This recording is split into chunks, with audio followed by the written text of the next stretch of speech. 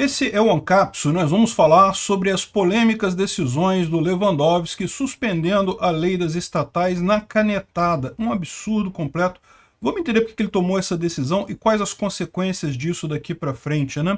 Essa notícia foi sugerida por Rolha de Vulcão, Flávio Dino, o Madimbu do Molusco e várias outras pessoas. Obrigado aí ao pessoal que sugeriu a notícia, obrigado a você que está assistindo o nosso vídeo. Se você gosta do nosso conteúdo, por favor, deixe o seu like, se inscreva aqui no canal, né? Pois bem, é, vocês sabem, está havendo um questionamento muito forte sobre a lei das estatais. Qual que é a ideia aqui? A lei das estatais foi criada justamente na época do governo Temer, com o objetivo de evitar que acontecesse novamente o que aconteceu durante o governo Lula e o governo Dilma, que é o governo bota um monte de político nas estatais para fazer um loteamento de cargos lá, esse pessoal nas estatais imediatamente começa a usar seu poder para fazer corrupção, para criar casos de corrupção e coisa e tal.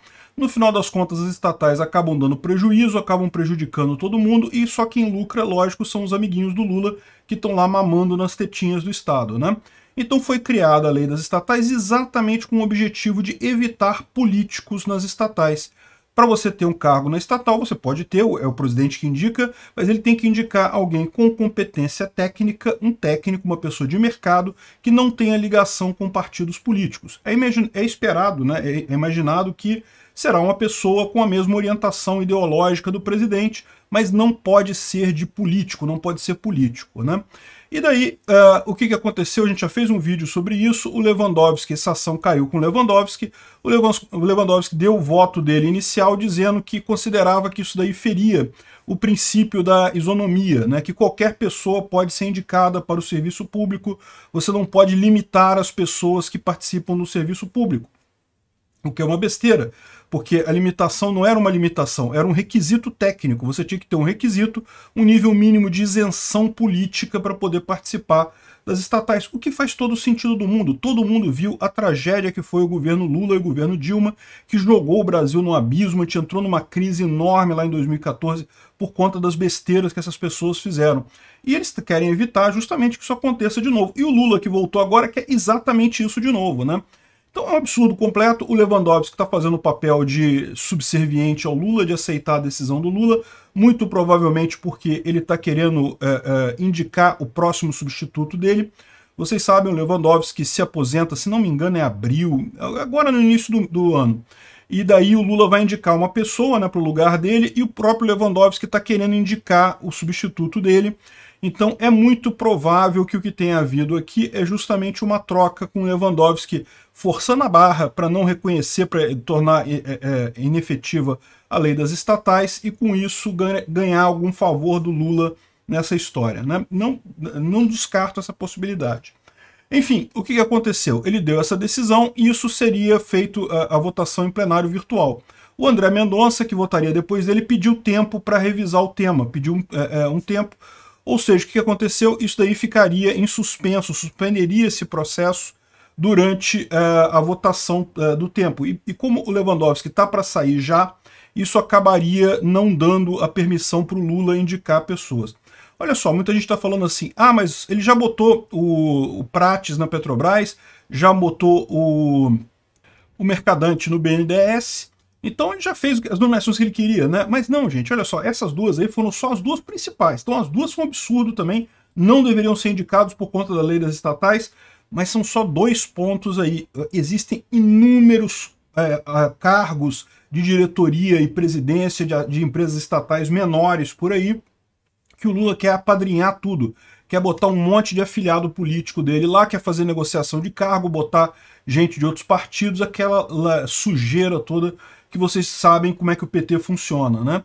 Então, esse é o problema. O Lewandowski queria que essa ação fosse rápida, que acabasse a votação é, dando o direito ao Lula, né? acabasse tornando a lei das estatais inconstitucional, e com isso o Lula podendo nomear quem ele tiver vontade para onde ele quiser, sem problema nenhum. Né? Só que aí, como o André Mendonça pediu vista, o Lewandowski ficou sem ação. O que, que ele fez? Ele mudou a decisão dele, transformou ela numa liminar, garantindo já de uma vez a, a essa decisão, ou seja, já não está valendo a lei das estatais, o Lula já pode indicar o pessoal que ele quiser para as estatais, e isso é uma coisa que é meio inédita, porque na verdade ele atropelou a decisão da turma toda, tá? Não foi só a decisão do André Mendonça, foi a decisão dos outros ministros também da turma lá do, do, do STF.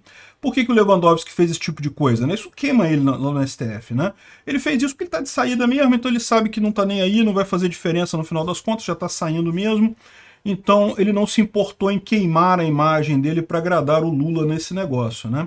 Bom, o que, que o André Mendonça fez? Eu não creio que isso vai ter resultado não, tá? Ele deu uma resposta que não é uma resposta assim tão significativa, mas é uma resposta que talvez dê um recado para o Lula e para o Lewandowski. De novo, eu acho pouco provável que funcione, mas pode ser. O que, que ele fez? Ele jogou o caso para a, a tribuna do STF. Então todos os ministros agora vão votar nesse caso. Ele devolveu o processo e agora todos os ministros vão votar no plenário do STF, naquela sessão que costuma ser televisionada e coisa e tal. E os ministros sabem que essa decisão do Lewandowski era uma decisão muito estranha, era uma decisão que não faz sentido. Porque isonomia, dizer que as pessoas têm o direito de serem indicadas para presidência de estatais é uma coisa muito forte, né? Realmente a, a, lógica da lei das estatais é muito clara. É evitar o loteamento político das estatais, porque a gente sabe o mal que isso aconteceu, que isso fez no passado, né? Enfim, se o resto dos ministros realmente se sentiram atropelados pelo Lewandowski e quiserem dar um troco no Lewandowski, eles podem fazer isso agora, votando no sentido de considerar a, a, a, pertinência, a constitucionalidade da lei das estatais. Isso vai acontecer? De novo, eu acho pouco provável. Ainda tem muito ministro ali favorável ao Lula que vai querer pedir a favor ao Lula, então eu não creio que isso vá ter nenhuma eficácia, não. A gente já imaginava que o Lula ia acabar com essas leis de controle todo, teto de gastos, lei das estatais, tudo mecanismos que foram colocados exatamente para impedir que o Brasil é, fosse de novo no sentido que o PT queria, no, no sentido de gastos descontrolados, de corrupção descontrolada. Todos esses controles que foram colocados, o PT está atropelando todos eles, infelizmente com a ajuda do STF. O STF virou realmente um órgão partidário a favor do PT. Muito triste o que está acontecendo. Resta a gente torcer para que essa ação do André Mendonça tenha algum resultado, que a maioria dos ministros ali entenda o grau de prejuízo que isso traria ao Brasil, a, o rompimento da lei das estatais, né? Vamos ver, eu acho pouco provável, como eu disse, mas não custa nada a gente ter esperança, não é mesmo? Obrigado por assistir o vídeo até o final. Além de curtir, compartilhar e se inscrever no canal, considere se tornar patrocinador com valores a partir de R$ 1,99. Clique no botão Seja Membro abaixo para saber as condições e vantagens de patrocinar o canal. Mais informações sobre o nosso projeto, visite nossos sites indicados na tela.